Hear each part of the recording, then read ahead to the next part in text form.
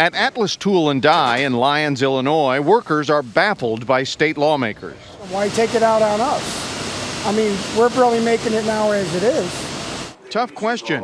One state senator was overcome early Wednesday before the vote to increase taxes 66%. But Governor Pat Quinn, a Democrat, said it had to be done. We have an emergency, a fiscal emergency. To close a deficit of $15 billion, personal income taxes here are rising from the current 3% to 5%. Really? Really? Is that really how we're going to solve the state budget? In Chicago, the Wolford family expects to pay one to $2,000 more in taxes.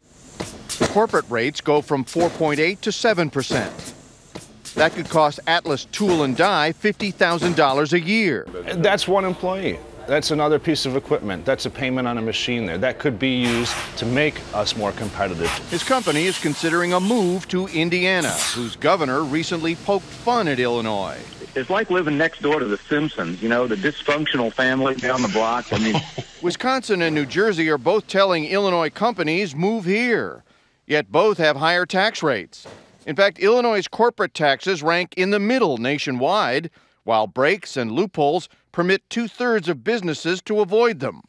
For individuals, the hike in income taxes, again in the middle of the pack, will be balanced by a cut in the federal payroll tax for Social Security.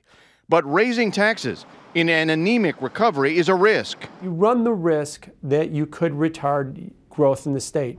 And even these new higher tax rates will not be enough to close Illinois' budget deficit. So the growth of government spending will have to be capped at 2% over the next four years.